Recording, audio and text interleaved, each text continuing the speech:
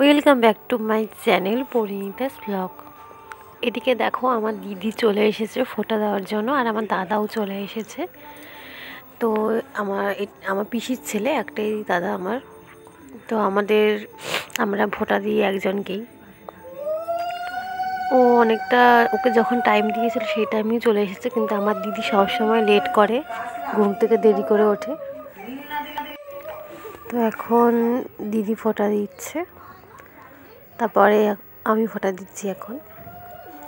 আর আমি দেখো চুলটা আমি লক্ষ্যই করিনি, চুলটা আমি ভালো করে বাঁধিনি, শুধু শাড়িটা পরেছিলাম, যেহেতু ভাই ফোটা আর আমি তো ঘরেই ছিলাম, তাই জন্য পরেছিলাম।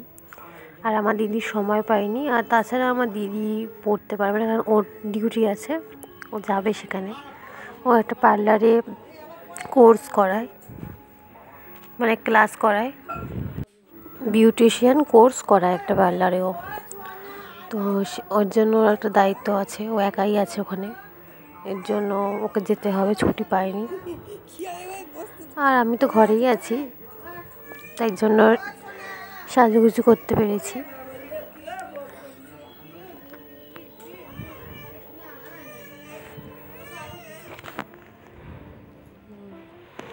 তো ভিডিওটা একটু আগে পরে হয়ে গেছে কিছু মনে করো না তোমরা। তো ফোটা টোটা দেওয়া হয়ে গেছে এখন আমি চলে এসেছি আমার ভিডিও করার জায়গায় আমার দিদির পার্লারে। তো এখানেই আমি ভিডিও করি তোমরা দেখবে বেশিরভাগ আমি এই জায়গাটাতেই ভিডিও বানাই।